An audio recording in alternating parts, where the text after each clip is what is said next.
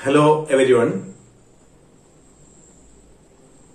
ഒരു പാർട്ട്ണർഷിപ്പ് ഫേമിൽ നിന്ന് ഒരു പാർട്ട്ണർ റിട്ടയർ ചെയ്യുക അല്ലെങ്കിൽ ഒരു പാർട്ട്ണറുടെ മരണം എന്നീ കാരണങ്ങൾ കൊണ്ട് റീകോൺസ്റ്റിറ്റ്യൂഷൻ സംഭവിക്കുമ്പോൾ പാർട്ട്ണർഷിപ്പ് ഫേമിന്റെ ബുക്സ് ഓഫ് അക്കൌണ്ട്സിൽ എന്തെല്ലാം അഡ്ജസ്റ്റ്മെന്റുകൾ ആവശ്യമുണ്ട് എന്നാണ് നമ്മൾ ഡിസ്കസ് ചെയ്തുകൊണ്ടിരിക്കുന്നത്.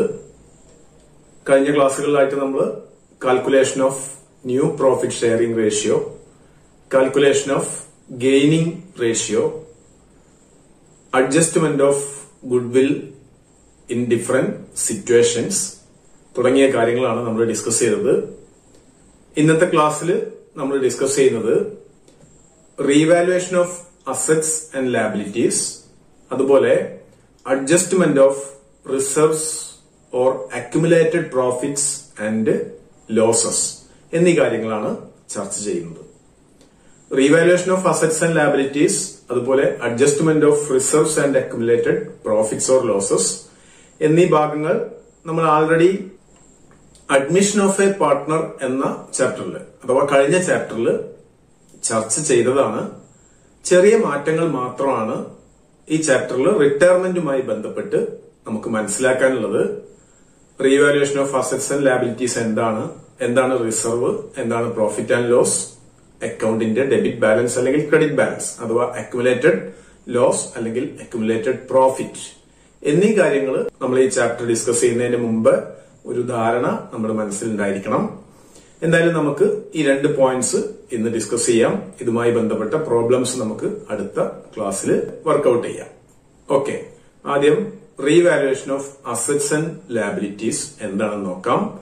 നമ്മൾ നേരത്തെ പഠിച്ചതാണ്. എന്നാൽ പോലും നമ്മൾ റിട്ടയർമെന്റുമായി ബന്ധപ്പെട്ട് ഈ റീവാലുവേഷനിലുള്ള ഒരു വ്യത്യാസമുണ്ട്. അതൊന്ന് മനസ്സിലാക്കേണ്ടതുണ്ട്. On retirement or death of a partner the assets and liabilities of the firm should be revalued as in the case of admission of a partner ഒരു പാർട്ട്ണറുടെ റിട്ടയർമെന്റ് അല്ലെങ്കിൽ ഡെത്ത് ഉണ്ടാകുന്ന സാഹചര്യത്തിൽ നമ്മുടെ പാർട്ട്ണർഷിപ്പ് ബിസിനസിന്റെ എല്ലാ അസറ്റ്സ് ആൻഡ് ലാബിലിറ്റീസും റീവാല്യൂ ചെയ്യേണ്ടതുണ്ട്. നമ്മുടെ പാർട്ട്ണർഷിപ്പ് ഫേമിൽ ഒരു പാർട്ട്ണറുടെ റിട്ടയർമെന്റ് അല്ലെങ്കിൽ ഒരു പാർട്ട്ണറുടെ ഡെത്ത് ഉണ്ടാകുന്ന സമയത്ത് നമ്മുടെ ബിസിനസിന്റെ എല്ലാ അസറ്റും ലാബിലിറ്റീസും അഡ്മിഷനിൽ നമ്മൾ പഠിച്ച അതേപോലെ തന്നെ റീവാല്യൂ ചെയ്യേണ്ടതുണ്ട്. റീവാല്യൂ ചെയ്യാന്ന് പറഞ്ഞാൽ നമുക്കറിയാം നമ്മുടെ ബുക്ക് വാല്യൂവും കറന്റ് വാല്യൂവും തമ്മിലുള്ള വ്യത്യാസം നമ്മൾ കണ്ടെത്തണം. എല്ലാ അസറ്റും ലാബിലിറ്റീസും അതിന്റെ യഥാർത്ഥ വാല്യൂയിലേക്ക് യഥാർത്ഥത്തിൽ ഇപ്പോഴുള്ള പ്രസന്റ് വാല്യൂയിലേക്ക് നമ്മൾ കൊണ്ടുവന്ന് പുതിയ ബാലൻസ് ഷീറ്റിൽ അത് പ്രസന്റ് ചെയ്യേണ്ടതുണ്ട്. The only difference is that in the case of retirement any profit or loss due to revaluation is divided among all the partners including the retiring partner whereas in the case of admission of a new partner the new partner does not share such profit or loss on revaluation അഡ്മിഷനും റിട്ടയർമെന്റും തമ്മിൽ റീവാലുവേഷനിലുള്ള വ്യത്യാസം എന്താണെന്ന് വെച്ചാൽ ഒരൊറ്റ വ്യത്യാസം മാത്രമേ ഉള്ളൂ. അഡ്മിഷന്റെ കേസിൽ ഇൻകമിംഗ് പാർട്ട്ണർക്ക് റീവാലുവേഷൻ പ്രോഫിറ്റിലോ അല്ലെങ്കിൽ ലോസിലോ യാതൊരു തരത്തിലുള്ള ഷെയറും ഉണ്ടായിരിക്കുന്നതല്ല. അതേസമയം റിട്ടയർമെന്റിന്റെ കേസിൽ റിട്ടയറിംഗ് പാർട്ട്ണർക്ക് റീവാലുവേഷൻ പ്രോഫിറ്റിന്റെ അല്ലെങ്കിൽ ലോസിന്റെ ഒരു ഭാഗം ഷെയർ ചെയ്യേണ്ടതുണ്ട്. റിട്ടയർമെന്റ് കേസിൽ എല്ലാ പാർട്ട്നേഴ്സിനും അഥവാ ഇൻക്ലൂഡിംഗ് റിട്ടയറിംഗ് പാർട്ട്ണർ പിരിഞ്ഞു പോകുന്ന ഈ പാർട്ട്ണർ ഉൾപ്പെടെ എല്ലാ പാർട്ട്നേഴ്സിനും റീവാലുവേഷന്റെ പ്രോഫിറ്റ് ഓർ ലോസ് ഷെയർ ചെയ്യേണ്ടതുണ്ട് The actual value of assets and liabilities should be brought into records by way of revaluation of assets and liabilities.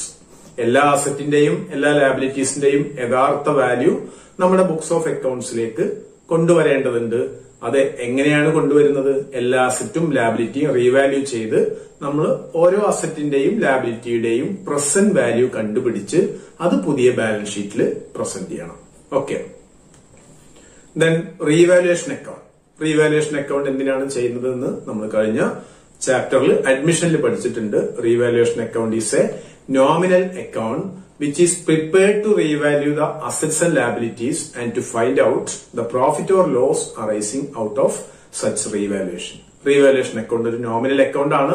ഇത് തയ്യാറാക്കുന്നത് സ്ഥാപനത്തിന്റെ എല്ലാ അസറ്റ്സ് ആൻഡ് ലാബിലിറ്റീസ് റീവാല്യൂ ചെയ്യുന്നതിനും ആ റീവാലുവേഷൻ വഴി സ്ഥാപനത്തിന് ഉണ്ടാകുന്ന പ്രോഫിറ്റ് അല്ലെങ്കിൽ ലോസ് കണ്ടുപിടിക്കുന്നതിനും വേണ്ടിയിട്ടാണ്. ഇപ്പൊ റീവാലുവേഷൻ അക്കൗണ്ട് എന്താണ് ചെയ്യുന്നത് എന്ന് നമ്മൾ മനസ്സിലാക്കിയിട്ടുണ്ട്. എല്ലാ increase in value of asset അസറ്റിന്റെ value കൂടുകയാണെങ്കിൽ റീവാലുവേഷൻ അക്കൗണ്ട് ക്രെഡിറ്റ് ചെയ്യും. ലാബിലിറ്റിന്റെ വാല്യൂ കുറയുകയാണെങ്കിൽ റീവാലുവേഷൻ അക്കൗണ്ട് ക്രെഡിറ്റ് ചെയ്യും. അൺറെക്കോർഡ് അസറ്റ് ഉണ്ടെങ്കിൽ റീവാലുവേഷൻ അക്കൗണ്ട് ക്രെഡിറ്റ് ചെയ്യും. ദെൻ അതുപോലെ അസറ്റിന്റെ വാല്യൂ കുറയാണെങ്കിൽ റീവാലുവേഷൻ അക്കൗണ്ട് ഡെബിറ്റ് ചെയ്യണം. ലാബിലിറ്റിന്റെ വാല്യൂ കൂടിക്കുകയാണെങ്കിൽ റീവാലുവേഷൻ അക്കൗണ്ട് ഡെബിറ്റ് ചെയ്യണം. അൺറെക്കോർഡ് ലാബിലിറ്റി ഉണ്ടെങ്കിലും റീവാലുവേഷൻ അക്കൗണ്ട് ക്രെഡിറ്റ് ചെയ്യണം. അതിന്റെ ജേണൽ എൻട്രീസ് നമ്മൾ കഴിഞ്ഞ ചാപ്റ്ററിൽ മനസ്സിലാക്കിയതാണ്. For increase in the value of an asset asset account up to revaluation increase in value of asset എന്ന് പറഞ്ഞാൽ റീവാലുവേഷൻ അക്കൗണ്ട് ക്രെഡിറ്റ് ആണ് അസറ്റ് അക്കൗണ്ട് ഡെബിറ്റ് ചെയ്യും.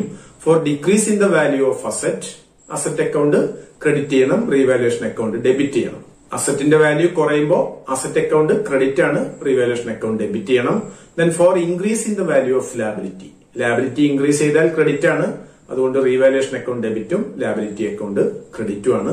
Then for an unrecorded asset ഒരു record ചെയ്യാതെ നമ്മുടെ ബുക്സ് ഓഫ് അക്കൗണ്ട്സിൽ കാണാത്ത ഒരു asset നമ്മുടെ ബിസിനസ്സിലുണ്ട് അത് ബുക്സ് ഓഫ് അക്കൗണ്ട്സിലേക്ക് കൊണ്ടുവരുമ്പോൾ അസറ്റ് അക്കൗണ്ട് ഡെബിറ്റ് ചെയ്യുക റീവാലുവേഷൻ അക്കൗണ്ട് ക്രെഡിറ്റ് ചെയ്യുക journal entry asset account up to revaluation then for an unrecorded liability unrecorded liability ഉണ്ടെങ്കിൽ revaluation account up to liability account ലാബിലിറ്റിയെ books of അക്കൗണ്ട്സിലേക്ക് കൊണ്ടുവരിക. ഇത്രയും ജേണൽ എൻട്രീസ് നമ്മൾ നേരത്തെ അഡ്മിഷൻ എന്ന ചാപ്റ്ററിൽ പഠിച്ച് ചർച്ച ചെയ്തതാണ്. ഇനി നമ്മൾ ഇത്രയും എൻട്രീസ് വന്നു കഴിഞ്ഞാൽ റീവാലുവേഷൻ അക്കൗണ്ടിനെ ബാലൻസ് ചെയ്യണം. അഥവാ റീവാലുവേഷന്റെ ക്രെഡിറ്റും ഡെബിറ്റും തമ്മിലുള്ള വ്യത്യാസം കണ്ടുപിടിച്ച് അതിൽ പ്രോഫിറ്റ് ആണെങ്കിൽ അഥവാ ക്രെഡിറ്റ് സൈഡ് കൂടുതലാണെങ്കിൽ for transfer of gain on revaluation if credit balance revaluation account credit balance ആണെങ്കിൽ റീവാലുവേഷൻ പ്രോഫിറ്റ് ആണ്. അതിന്റെ journal entry revaluation account debtor to all partners' capital accounts in their old profit sharing ratio. അഡ്മിഷനിൽ old പാർട്ട്നേഴ്സിന് മാത്രമാണ് നമ്മൾ ഇതിന്റെ gain കൊടുത്തതെങ്കിൽ ഇവിടെ ഓൾ പാർട്ട്നേഴ്സ് ആണ്. ഓൾ പാർട്ട്നേഴ്സ് എന്ന് പറയുമ്പോൾ റിട്ടയറിംഗ് പാർട്ട്ണർ ഉൾപ്പെടെ. റിട്ടയർ ചെയ്യുന്ന പാർട്ട്ണർക്ക് കൂടി ഈ സ്ഥാപനത്തിലെ അസറ്റ്സ് ആൻഡ് ലാബിലിറ്റീസിന്റെ വാല്യൂവിൽ ഉണ്ടായിട്ടുള്ള പ്രോഫിറ്റിൽ അവകാശമുണ്ട്. എന്തുകൊണ്ടാണ്? റിട്ടയർ ചെയ്യുന്ന പാർട്ട്ണർ ഈ ഡേറ്റ് ഓഫ് റിട്ടയർമെന്റ് വരെ ഈ സ്ഥാപനത്തിന്റെ ഭാഗമായിരുന്നു. അതുകൊണ്ട് ആ സമയം വരെ അസറ്റ്സിന്റെ വാല്യൂവിൽ ഉണ്ടായിട്ടുള്ള കുറവോ കൂടുതലോ മറ്റു ലാബിലിറ്റീസിന്റെ വാല്യൂവിൽ ഉണ്ടായിട്ടുള്ള കുറവോ കൂടുതലോ എല്ലാറ്റിലും റിട്ടയറിംഗ് പാർട്ട്ണർക്കും ഒരു റൈറ്റ് ഉണ്ട്. അതുകൊണ്ട് ഇവിടെ എല്ലാ പാർട്ട്നേഴ്സിന്റെയും ക്യാപിറ്റൽ അക്കൗണ്ട് റീവാലുവേഷൻ പ്രോഫിറ്റിനെ ക്രെഡിറ്റ് ചെയ്യണം. അവരുടെ old profit sharing റേഷ്യോയിൽ for transferring loss on revaluation അഥവാ റീവാലുവേഷൻ അക്കൗണ്ടിന്റെ ഡെബിറ്റ് സൈഡ് ആണ് കൂടുതൽ അഥവാ ഡെബിറ്റ് ബാലൻസ് ആണെങ്കിൽ നമ്മൾ ലോസ് ആണ് ലോസിന് എല്ലാ പാർട്ട്നേഴ്സിന്റെയും ക്യാപിറ്റൽ അക്കൗണ്ട് ഡെബിറ്റ് ചെയ്യാം ഇൻക്ലൂഡിംഗ് റിട്ടയറിംഗ് പാർട്ട്ണർ ഇവിടെ അഡ്മിഷന്റെ കേസ് ആണെങ്കിൽ ഇൻകമിംഗ് പാർട്ട്ണറെ നമ്മൾ പരിഗണിക്കില്ലായിരുന്നു. ഓൾഡ് പാർട്ട്നേഴ്സിന്റെ ക്യാപിറ്റൽ അക്കൗണ്ട് മാത്രമാണ് ഡെബിറ്റ് ചെയ്തത്. റിട്ടയർമെന്റിൽ എല്ലാ പാർട്ട്നേഴ്സിനും ഈ ലോസിൽ ഒരു ഉത്തരവാദിത്തമുണ്ട് ഒരു ബാധ്യതയുണ്ട്. അതുകൊണ്ട് റിട്ടയറിംഗ് പാർട്ട്ണറെ ഉൾപ്പെടെ എല്ലാ പാർട്ട്നേഴ്സിന്റെയും ക്യാപിറ്റൽ അക്കൗണ്ട് ഡെബിറ്റ് ചെയ്യുന്നു. To revaluation account general entry all partners capital account up to revaluation account നമ്മൾ റീവാലുവേഷൻ അക്കൗണ്ടിന്റെ ഫോർമാറ്റ് കഴിഞ്ഞ ചാപ്റ്ററിൽ മനസ്സിലാക്കിയത് തന്നെ വ്യത്യാസം പ്രോഫിറ്റ് ഓർ ലോസ് ഷെയറിംഗിൽ മാത്രമാണ്. എല്ലാ ഇൻക്രീസ് ഇൻ വാല്യൂ ഓഫ് അസറ്റും ക്രെഡിറ്റ് ചെയ്യുന്നു. എല്ലാ decrease in value of liabilities debit ചെയ്യുന്നു. അൺറെക്കോർഡ് അസറ്റ് ഉണ്ടെങ്കിൽ ക്രെഡിറ്റ് ചെയ്യുന്നു. ദെൻ റീവാലുവേഷൻ അക്കൗണ്ട് ഡെബിറ്റ് ചെയ്യുന്നത് decrease in value of asset അസറ്റിന്റെ വാല്യൂവിൽ ഉണ്ടായ കുറവ് ലാബിലിറ്റീസിന്റെ വാല്യൂവിൽ ഉണ്ടായിട്ടുള്ള ഇൻക്രീസ് അഥവാ വർധനവ് അതുപോലെ അൺറെക്കോർഡഡ് ലാബിലിറ്റീസ് ഇവിടെ ക്രെഡിറ്റ് സൈഡ് കൂടുതലാണെങ്കിൽ റീവാലുവേഷൻ പ്രോഫിറ്റ് ആണ് നമ്മൾ ബാലൻസ് ചെയ്ത് നമ്മൾ കിട്ടുന്നത്. റീവാലുവേഷൻ പ്രോഫിറ്റ് ആണ് ഇവിടെ എല്ലാ പാർട്ട്നേഴ്സിന്റെയും ക്യാപിറ്റൽ അക്കൗണ്ടിലേക്ക് ഫോർ എക്സാമ്പിൾ ഈ കേസിൽ എയും ബിയും സിയും ഉൾപ്പെട്ട മൂന്ന് പാർട്ട്ണർ ആണെങ്കിൽ മൂന്ന് പാർട്ട്നേഴ്സിനും ഈ പ്രോഫിറ്റ് ഷെയർ ചെയ്യുന്നു. ഇനി റീവാലുവേഷൻ അക്കൗണ്ട് ഡെബിറ്റ് ബാലൻസ് ആണെങ്കിൽ ഇതിന്റെ ബാലൻസ് ചെയ്യുന്നത് partners capital account ഡെപ്റ്റ് to revaluation account ഇവിടുത്തെ മൂന്ന് പാർട്ട്നേഴ്സ് ആണെങ്കിൽ മൂന്ന് പാർട്ട്നേഴ്സിനും ഇൻക്ലൂഡിംഗ് റിട്ടയറിംഗ് പാർട്ട്നേഴ്സിന് ആ ലോസ് ഷെയർ ചെയ്യുന്നു. ഇത്രയാണ് റീവാലുവേഷൻ അക്കൗണ്ടിന്റെ കേസിൽ നമ്മൾ നേരത്തെ മനസ്സിലാക്കിയത് കൊണ്ട് കൂടുതൽ എക്സ്പ്ലനേഷൻസ് നൽകുന്നില്ല. നമുക്കിനി ഈ ചാപ്റ്ററിൽ ഈ ക്ലാസ്സിൽ ഡിസ്കസ് ചെയ്യുന്നത് adjustment of reserves and accumulated profits or losses accumulated profits and reserves are shown on the liability side of the balance sheet accumulated losses are shown on the asset side of the balance sheet on admission these are to be written off accumulated profits profit and loss account എന്ന ഹെഡിൽ balance ഷീറ്റിന്റെ liability സൈഡിൽ കാണും. Reserve ആണെങ്കിൽ balance ഷീറ്റിന്റെ liability സൈഡിൽ കാണും. Accumulated loss ആണെങ്കിൽ പ്രോഫിറ്റ് ആൻഡ് ലോസ് അക്കൗണ്ട് എന്ന ഹെഡിൽ ബാലൻസ് ഷീറ്റിന്റെ അസറ്റ് സൈഡിൽ കാണും.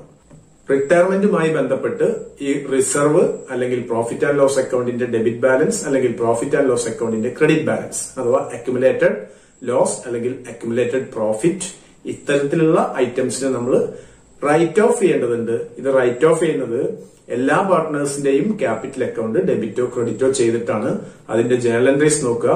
റിസർവ് അല്ലെങ്കിൽ അക്യുമുലേറ്റഡ് പ്രോഫിറ്റ് ആണെങ്കിൽ reserve account or profit and loss account debtor to all partners capital account എല്ലാ പാർട്ട്നേഴ്സിന്റെയും ക്യാപിറ്റൽ അക്കൗണ്ട് ക്രെഡിറ്റ് ചെയ്യണം.